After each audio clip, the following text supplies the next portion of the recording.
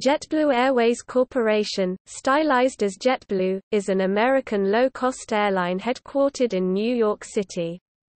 A major air carrier and the sixth largest airline in the United States, JetBlue is headquartered in the Long Island City neighborhood of the New York City borough of Queens, with its main base at John F. Kennedy International Airport.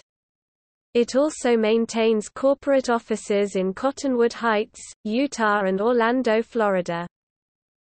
As of 2018 it ranked number 402 financially on the Fortune 500 list of the largest United States corporations by total revenue. JetBlue Airways operates over 1,000 flights daily and serves 102 domestic and international network destinations in the U.S., Mexico, the Caribbean, Central America and South America. JetBlue is not a member of any of the three major airline alliances, but it has code-share agreements with 21 airlines, including member airlines of oneworld, SkyTeam, Star Alliance, and unaffiliated airlines.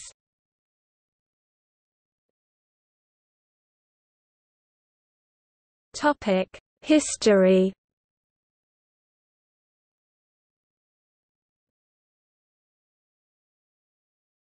Topic: 1998 to 2000 founding. JetBlue was incorporated in Delaware in August 1998. David Neeleman founded the company in February 1999, under the name, New Air. JetBlue started by following Southwest's approach of offering low-cost travel, but sought to distinguish itself by its amenities, such as in-flight entertainment, TV at every seat, and SiriusXM satellite radio.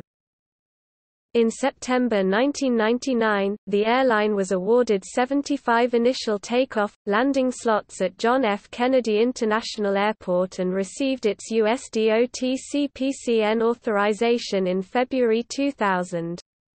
It commenced operations on February 11, 2000, with services to Buffalo and Fort Lauderdale. JetBlue's founders had set out to call the airline Taxi and therefore have a yellow livery to associate the airline with New York. The idea was dropped, however, for several reasons, the negative connotation behind New York City taxis, the ambiguity of the word taxi with regard to air traffic control, and threats from investor J.P. Morgan to pull its share $20 million of the total $128 million of the airline's initial funding unless the name was changed.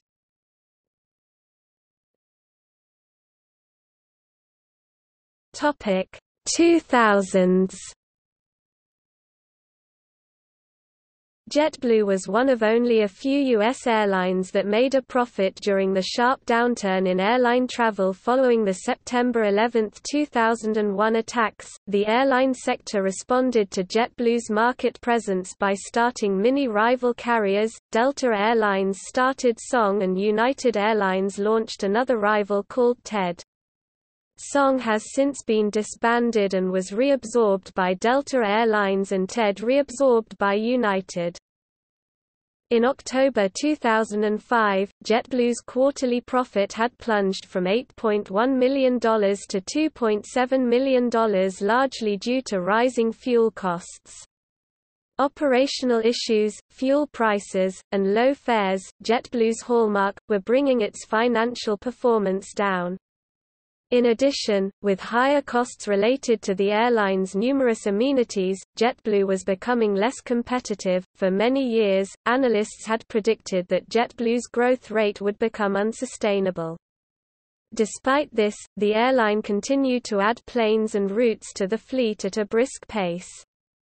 In addition in 2006, the IAM International Association of Machinists attempted to unionize JetBlue's ramp service workers in a move that was described by JetBlue's COO Dave Barger as pretty hypocritical, as the IAM opposed JetBlue's creation when it was founded as New Air in 1998.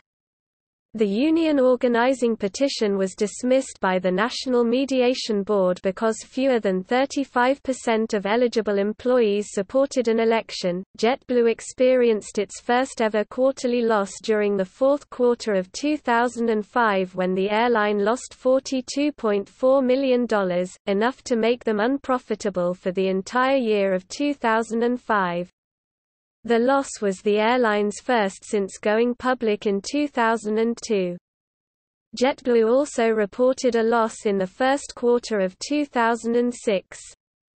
In addition to that, JetBlue forecasted a loss for 2006, citing high fuel prices, operating inefficiency, and fleet costs. During the first quarter report, CEO David Neeleman, President Dave Barger, and then CFO John Owen released JetBlue's return to profitability RTP plan, stating in detail how they would curtail costs and improve revenue to regain profitability. The plan called for $50 million in annual cost cuts and a push to boost revenue by $30 million. JetBlue Airways moved out of the red during the second quarter of 2006, beating Wall Street expectations by announcing a net profit of $14 million. That result was flat when compared to JetBlue's results from the same quarter a year before $13 million, but it was double Wall Street forecasts of a $7 million profit, Reuters reports. The carrier said cost-cutting and stronger revenue helped it offset higher jet fuel costs. In October 2006, JetBlue announced a net loss of $500,000 for quarter 3, and a plan to regain that loss by deferring some of their E190 deliveries and by selling five of their A320s. In December 2006, JetBlue, as part of their RTP plan, removed a row of seats from their A320s to lighten the aircraft by 904 pounds 410 kilograms and reduce the cabin crew size from 4 to 3 per FAA regulation requiring one flight attendant per 50 seats, thus offsetting the lost revenue from the removal of seats, and further lightening the aircraft, resulting in less fuel burned. In January 2007, JetBlue returned to profitability with a fourth quarter profit in 2006, reversing a quarterly loss in the year earlier period. As part of the RTP plan, 2006's full-year loss was $1 million compared to 2005's full-year loss of $20 million. JetBlue was one of the few major airlines to post a profit in that quarter. While its financial performance started showing signs of improvement, in February 2007, JetBlue faced a crisis, when a snowstorm hit the Northeast and Midwest, throwing the airline's operations into chaos. Because JetBlue followed the practice of never canceling flights, it desisted from calling flights off, even when the ice storm hit and the airline was forced to keep several planes on the ground. Because of this, passengers were kept waiting at the airports for their flights to take off. In some cases, passengers who had already boarded their planes were kept waiting on the apron for several hours and were not allowed to disembark. However, after all this, the airline was eventually forced to cancel most of its flights because of prevailing weather conditions. The fiasco reportedly cost JetBlue $30 million. In 2007, JetBlue was also facing reliability problems with its Embraer 190 fleet. For a couple of months, JetBlue contracted ExpressJet to operate four Embraer 145 regional jets on behalf of JetBlue. While this was going on two E-190 aircraft at a time were sent to an Embraer maintenance facility in Nashville, Tennessee. ExpressJet operated routes between Boston Logan and Buffalo, New York and Washington Dulles, and between New York JFK and Columbus, Ohio has terminated and Richmond, Virginia. Following the February 2007 incident in which the airline was forced to cancel nearly 1,700 flights due to winter storms, JetBlue's board of directors replaced founder and chief executive officer David Neeleman with Dave Barger. He had politicked the board, while Neeleman was busy publicly apologizing. Barger's ascendancy caused widespread demoralization in the ranks. He became JetBlue's new chief executive officer on May 10, 2007. Neeleman, the company's founder and largest individual investor, became a non-executive chairman as a result of the change. On July 24, 2007, JetBlue reported that its second quarter revenue increased to $730 million, compared to $612 in 2006. Second quarter net income grew to $21 million for the quarter, from $14 million the previous year. CEO David Barger said the airline will take delivery of three fewer planes this year and will sell three planes from their current fleet, slowing capacity growth to strengthen our balance sheet and facilitate earnings growth but will continue to add two to four new destinations each year. In July 2007, the airline partnered with 20th Century Fox's film The Simpsons movie to become the official airline of Springfield. In addition a contest was held in which the grand prize would be a trip on JetBlue to Los Angeles to attend the premiere of the film.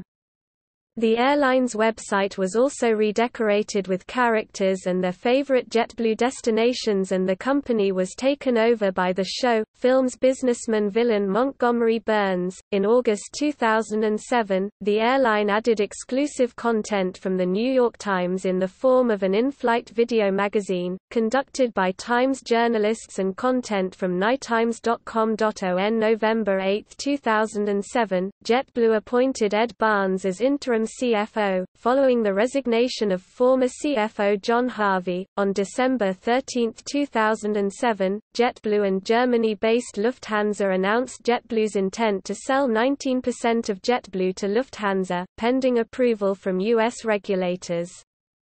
Following the acquisition, Lufthansa stated they plan to seek operational cooperation with JetBlue. Lufthansa plans to offer connections to JetBlue flights in Boston, New York (JFK), and Orlando International Airport, no longer a connection. JetBlue expanded service to the Caribbean, including to St. Martin and Puerto Plata commencing January 10, 2008.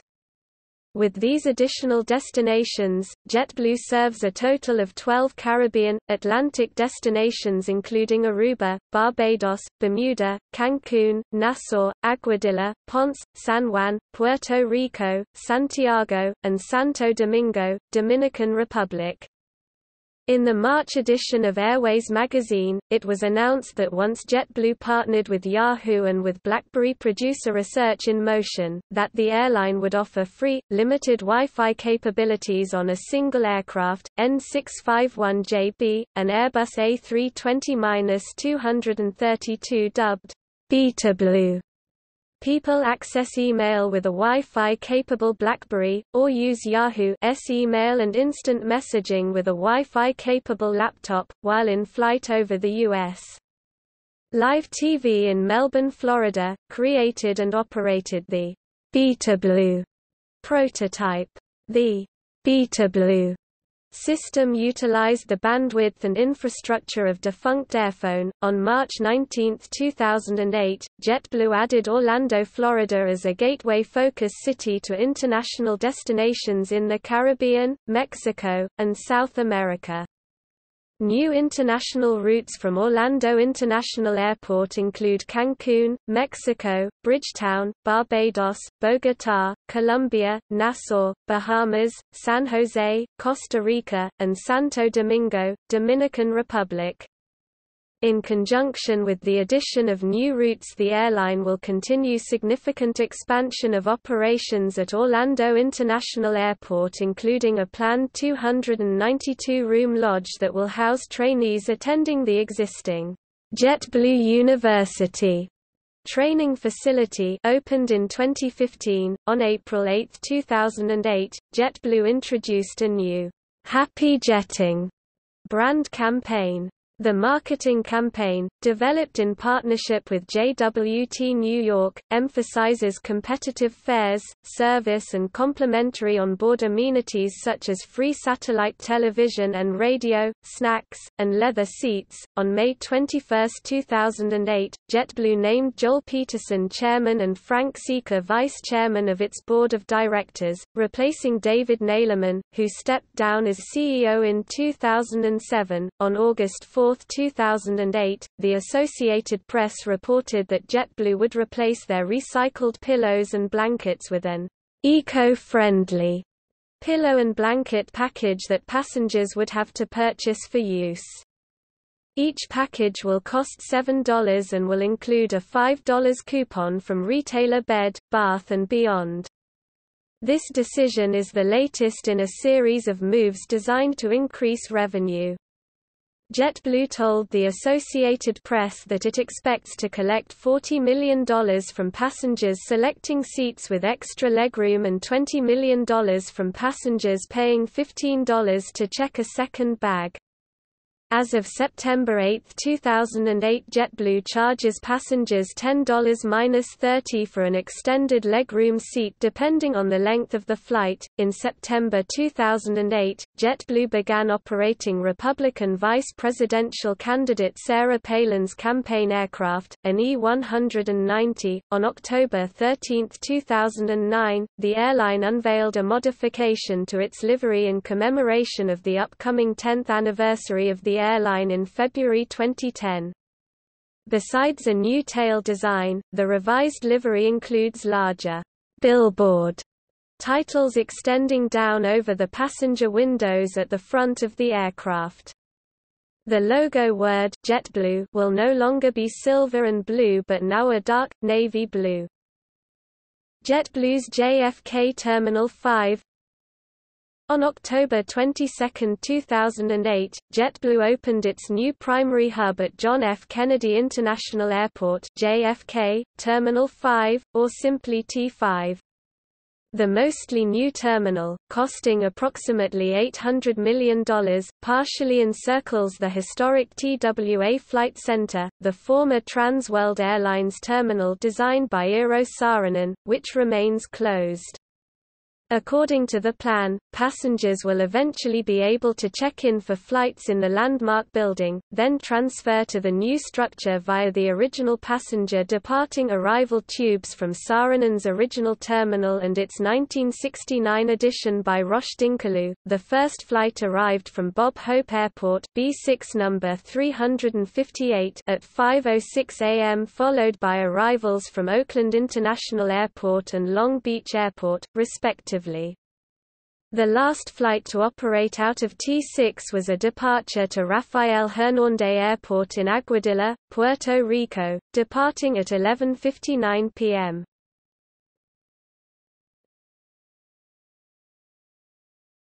Topic 2010s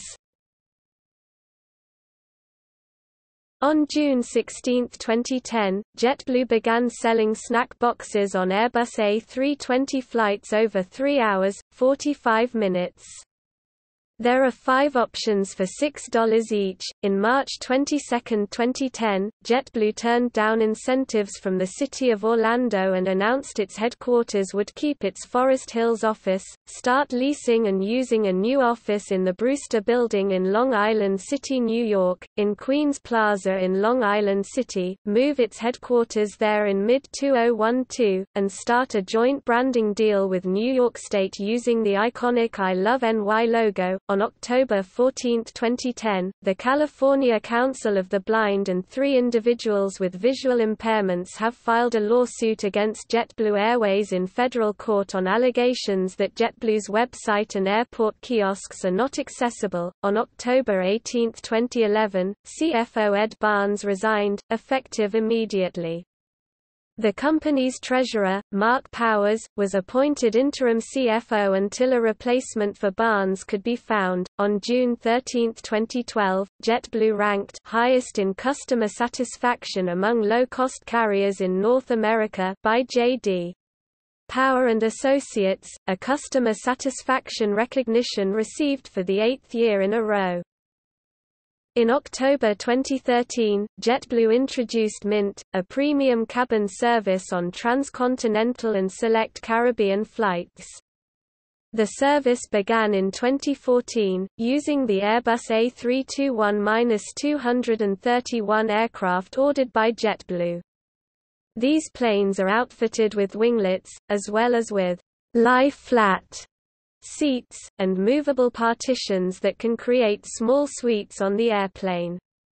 Called Mint by JetBlue, these planes are configured with 16 business class seats and 143 economy seats, instead of an all economy configuration of 190 seats. On April 22, 2014, JetBlue's pilots voted to unionize for the first time since the airline was founded, with 71% casting ballots in favor of joining the ALPA. On September 18, 2014, Dave Barger announced his resignation from the the company effective February 16, 2015, following several reports that investors and the board were unhappy with his performance. He was replaced on the board and as CEO by Robin Hayes. During the last few days of June and the first few days of July 2015, JetBlue began charging for bags in certain booking classes, leaving Southwest Airlines the only major U.S. carrier to not charge for bags. For the classes in which bag check fees are charged generally the lowest class of fares offered, JetBlue offers three classes of fares, the cost is $20 for the first bag and $35 for the second, which is the lowest in the United States besides Frontier Airlines with similar prices. In 2016, JetBlue was unsuccessful in acquiring Virgin America, which was acquired by Alaska Air Group. In July 2016, JetBlue announced commercial flights from the United States to Cuba would commence in late August. On August 31, 2016, JetBlue Flight 387 from Fort Lauderdale Hollywood International Airport to Abel Santamaria Airport, in Santa Clara, became the first scheduled commercial flight between the United States and Cuba in 55 years.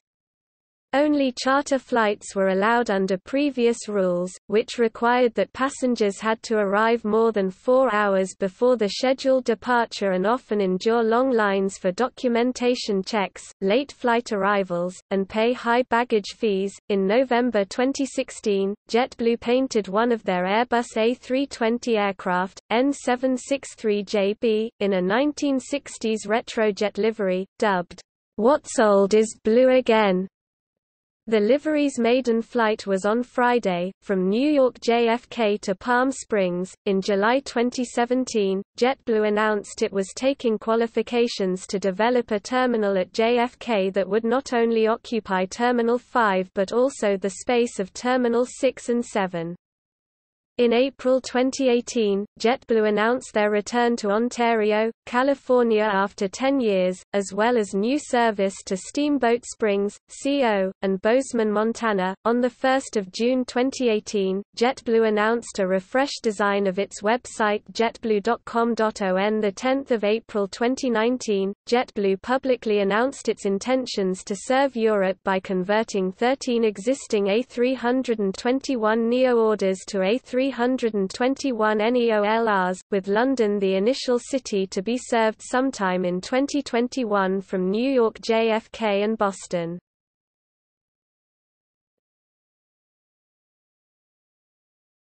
Topic: Corporate affairs.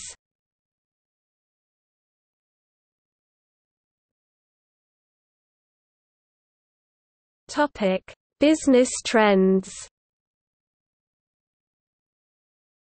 The key trends for JetBlue over recent years are shown below as at year ending 31 December.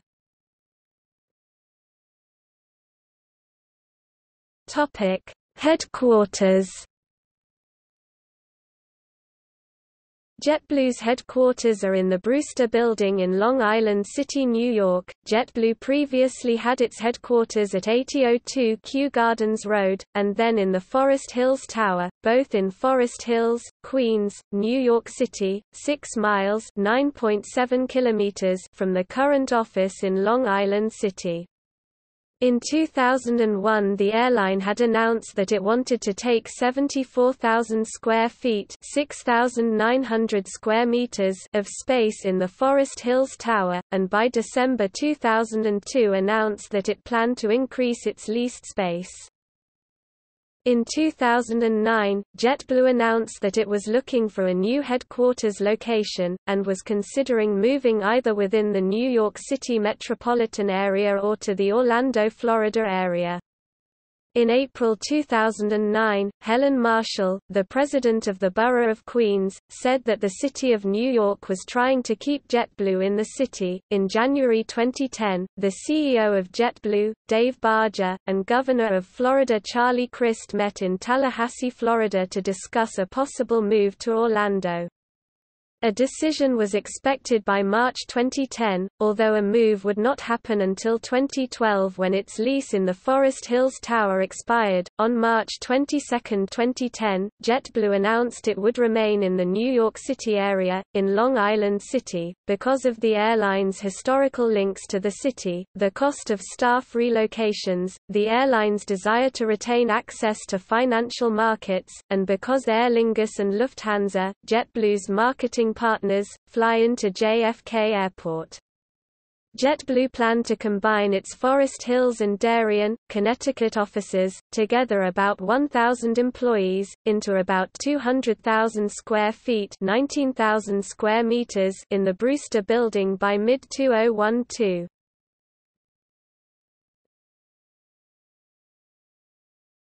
Topic: Crew bases. JetBlue operates five bases for its pilots and in-flight crew members. Boston Logan International Airport. Fort Lauderdale International Airport. John F. Kennedy International Airport. Long Beach Airport. Orlando International Airport. Topic Marketing strategy. JetBlue's first major advertising campaign incorporated phrases like, "'Unbelievable' and "'We like you, too' Full-page newspaper advertisements boasted low fares, new aircraft, leather seats, spacious legroom, and a customer service-oriented staff committed to "'bringing humanity back to air travel' With a goal of raising the bar for in-flight experience, JetBlue became the first airline to offer all passengers personalized in-flight entertainment. In April 2000, flat-screen monitors installed in every seatback allow customers live access to over 20 DirecTV channels at no additional cost. As JetBlue gained market share, they found a unique positioning where they competed with other low-cost carriers e.g. Southwest, and Frontier, as well as major carriers e.g. American, United, and Delta. Amenities such as their live in-flight television, free and unlimited snack offerings, comfortable legroom, and unique promotions fostered an image of impeccable customer service that rivaled the major airlines, while competitive low fares made them a threat to low-cost no-frills carriers as well. During the company's growth stage, advertising messages moved from the engaging and customer-oriented to less personal slogans and campaigns. Frequent changes in its values statements resulted in mixed and frequently wasted marketing dollars spent. Slogans varied from more to happy jetting and many other failed attempts. A new marketing strategy has been partnerships with professional sports teams and venues, including the four major teams in Boston Red Sox, Celtics, Bruins for which JetBlue's livery is called Bear Force One, and Patriots. As the official airline of the New York Jets, JetBlue has specially painted the exterior of one of their Airbus A320s N746JB in the team's colors. Aircraft N605JB is based on the design of the Boston Red Sox road uniform and sports a gray fuselage with navy lettering. This aircraft was unveiled in February 2012, just in time for the opening of the Red Sox new spring training facility in Fort Myers, Florida named JetBlue Park at Fenway South. Additionally, JetBlue and MasterCard have pledged to refund select flight purchases made online at jetblue.com using a MasterCard. JetBlue has also partnered with various other sports teams and sporting venues in cities they serve. JetBlue also utilizes various forms of advertising media. They use print, online, and television ads as well as advertisements on popular social media sites including Hulu and YouTube. JetBlue emphasizes a secondary slogan, "If you wouldn't take it on the ground, don't take it in the air." Poking fun at competitors with hidden fees, little, or no amenities and what JetBlue considers an unacceptable level of customer service. According to Martin St. George, Senior Vice President of Marketing and Commercial Strategy at JetBlue, the new You Above All campaign was created to get JetBlue back to the DNA and speak to the core of who we are as a brand. This motto is meant to support their efforts to always put the customer first and bring humanity back to air travel. Customer Bill of Rights in February 2007, a Valentine's Day storm triggered an organizational meltdown, leading to an extremely high level of cancellations and controversies. For example, some passengers were held on board their plane awaiting clearance for takeoff for nearly 11 hours before they returned to their gate and the flight was cancelled. Various consumer rights organizations and activists called for the creation of a government mandated Bill of Rights to protect air travelers from future experiences similar to the one previously described. On February 20, 2007, JetBlue released an apologetic response to the events that had taken place less than a week before with the creation of their Customer Bill of Rights, which offers financial reciprocation if a customer's flight is delayed or cancelled. Facial recognition In November 2018, JetBlue introduced automatic facial recognition for their international flights from JFK. A similar program was introduced by Delta Air Lines in that same month. The pictures are directly linked to the U.S. Customs and Border Protection database. This resulted in an online petition denouncing JetBlue's facial recognition system.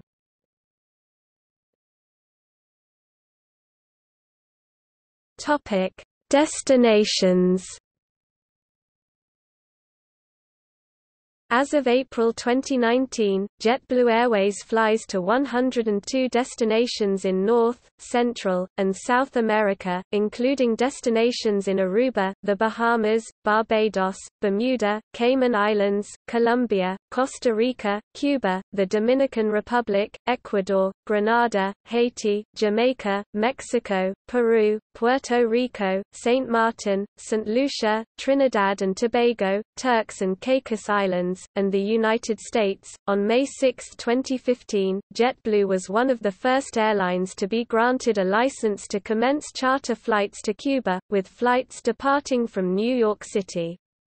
The weekly service began on July 3, 2015, with 150-seat Airbus A320s. In April 2019, JetBlue announced that it would launch transatlantic flights between New York and Boston, and London. The airline added that it would be converting 13 orders for the A321neo into the longer-range Airbus A321LR to serve the new routes. JetBlue primarily operates a point-to-point -point route network. In 2017, over 92% of its passengers flew on non-stop itineraries.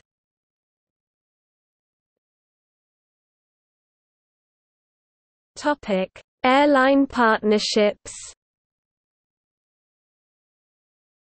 In 2008, JetBlue partnered with Irish flagship carrier Aer Lingus to allow passengers to switch between airlines on a single ticket for flights with connections in New York JFK or Boston Logan.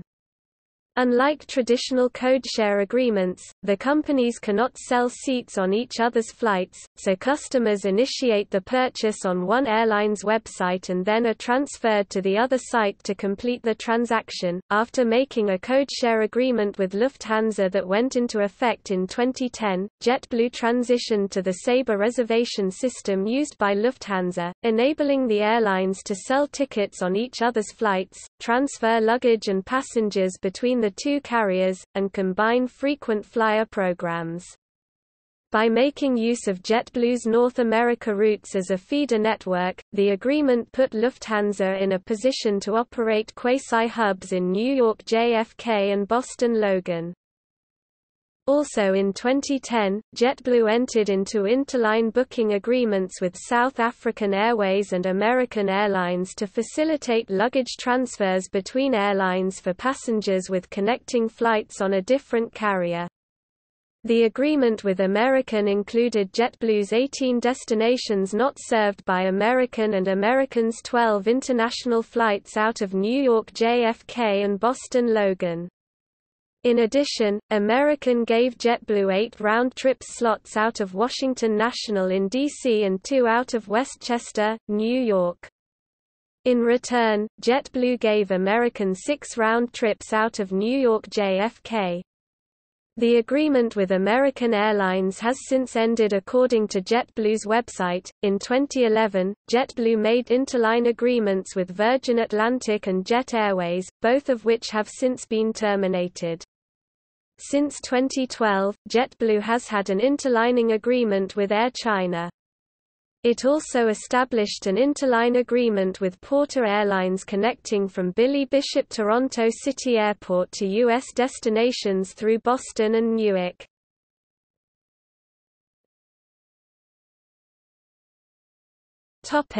Codeshare agreements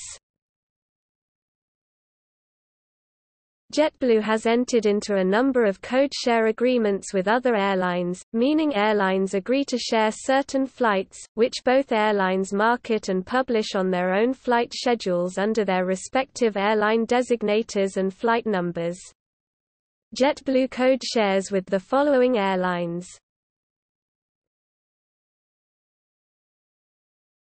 Topic: Fleet As of April 2019, the JetBlue fleet consists of the following aircraft. Topic: Services.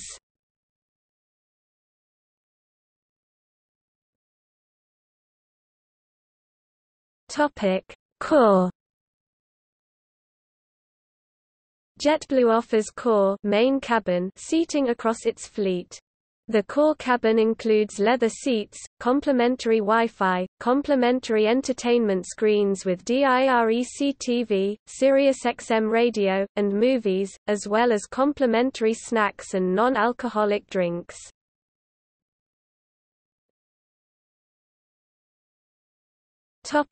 Mint Mint is JetBlue's premium class service and is available coast to coast and on select Caribbean routes on configured Airbus A321s. It includes fully lie flat seats, some of which have sliding panels for more privacy. The table below shows the routes on which the service is available.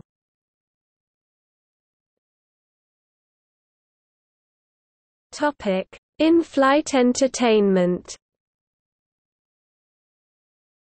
JetBlue's in-flight options consist of gate-to-gate Fly-Fi service, offering over 100 channels of DirecTV, SiriusXM radio, and movies, and on the Airbus A321, a 15 interactive video screen which is not available on the rest of the fleet. JetBlue's partnership with Amazon lets customers watch Amazon Prime videos by connecting to Wi-Fi and downloading the Amazon Video app on their mobile phone or tablet. The in-flight Wi-Fi under the Fly-Fi network is complimentary on all flights, at speeds of 12 to 15 megabits per second.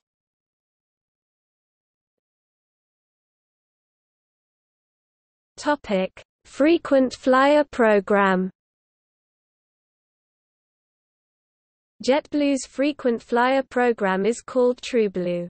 Under the original TrueBlue program, flights were worth 2, 4, or 6 points based on distance of the flights, and double points were awarded for flights booked online. In September 2009, JetBlue made changes to its TrueBlue program. In the new program, members receive three points for every dollar spent toward a flight, excluding taxes and fees, plus an additional three points for every dollar spent on a flight if booked online directly on the JetBlue.com website. Additional points are awarded if the member uses the Barclays-issued JetBlue MasterCard credit card to purchase the flight. The price of flights in points depend on the fare of the flight in US dollars. The new program launched on November 9, 2009. In June 2013, JetBlue announced that TrueBlue points will never expire for any reason.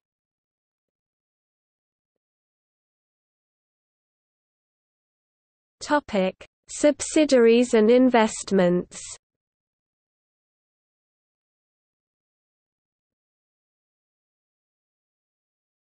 Topic: JetBlue Technology Ventures.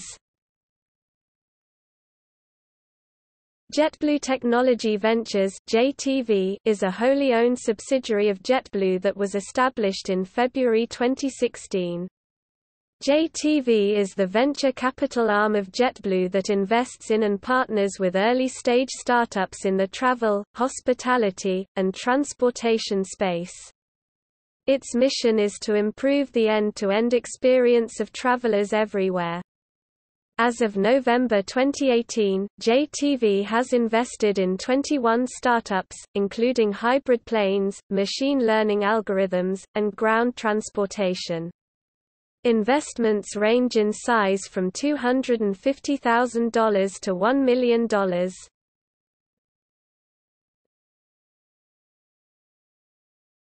Topic: JetSuiteX. On October 25, 2016 JetSuiteX announced that JetBlue had made a minority equity investment in JetSuiteX. Part of the agreement also gave JetBlue a seat on JetSuite's board of directors. Reasons for the investment was outlined by CEO Robin Hayes. Our investment in JetSuite makes sense as we continue to execute on our West Coast plan and invest in innovative ideas that reflect the disruptive spirit of JetBlue. In JetBlue's first quarter 2018 investor call JetBlue's CFO Stephen Priest confirmed they currently hold about 10% of JetSuiteX.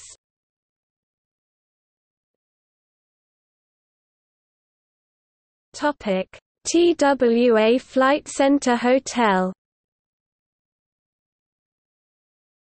The TWA Hotel is the TWA Flight Center structure currently being rebuilt as 505-room hotel, preserving the Eero Saarinen head house while replacing the structures on either side of the head house. Situated in front of JetBlue's JFK terminal, JetBlue has stated that it estimates the ownership of the hotel would be between 5 to 10% of the final total investment. The hotel will be an effective replacement for the Ramada Plaza JFK Hotel on the north end of the airport grounds in Building 144, which closed in 2009.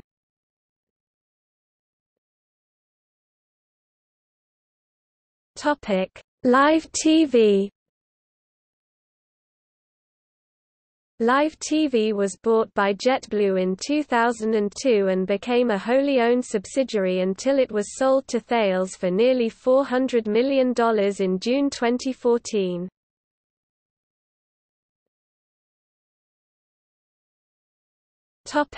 JetBlue Travel Products JetBlue Travel Products is a subsidiary created in 2018 to sell travel insurance, car rentals, and cruise line packages.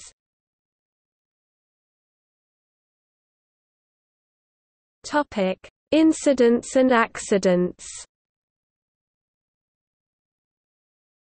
September 21, 2005, Flight 292 en route from Burbank, California, to New York City performed an emergency landing at Los Angeles International Airport pictured on the right following a failure of the front landing gear during retraction when it turned 90 degrees. The plane landed after holding for about three hours to burn fuel and therefore lighten the aircraft. The aircraft came to a stop without incident on runway 25L, the second longest runway at LAX.